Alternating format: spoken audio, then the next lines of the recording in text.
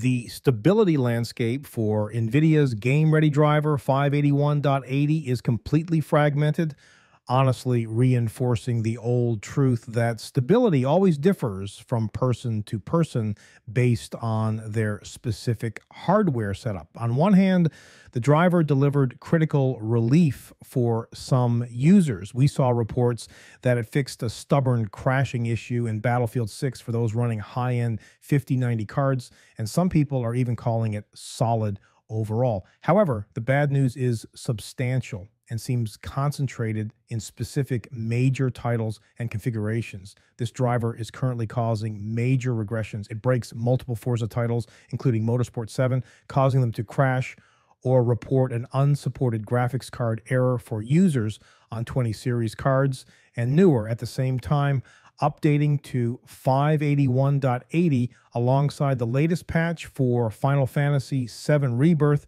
triggers a fatal error that prevents the game from even launching. If you own a new 50 series card, you might also find that shadows are broken in Monster Hunter Wilds.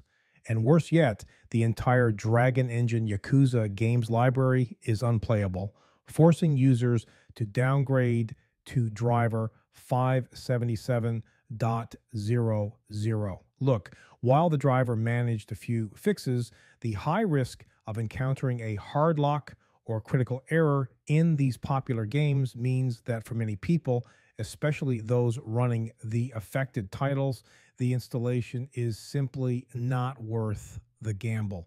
The general advice holds true. Hold off for a few days before installing this one.